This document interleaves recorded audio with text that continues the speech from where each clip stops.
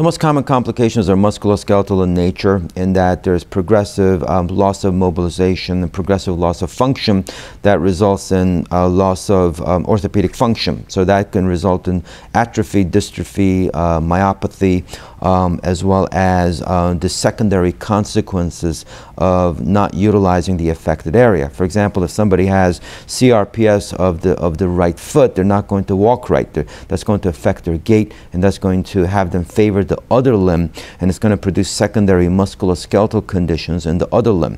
So myofascial osteoarthritis and acceleration of that osteoarthritis and also spinal pain. They may, for example, because of their altered uh, gait and altered function and, um, and, and uh, biomechanics, they may, for example, have an accelerated osteoarthritis of the spine, a herniated disc, uh, spinal stenosis, all of that occurring concomitantly with both peripheral disease, as well as spinal disease to produce secondary pain.